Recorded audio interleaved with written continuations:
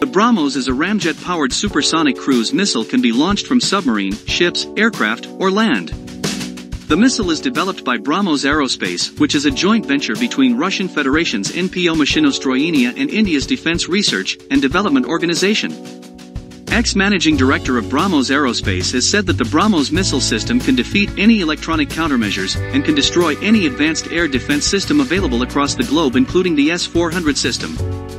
He also said that a measure country had conducted a study to defeat the BrahMos missile, and the conclusion of the study was that their frontline ship can defend against one BrahMos missile, but if two BrahMos missiles are fired no warship can defend against BrahMos missile.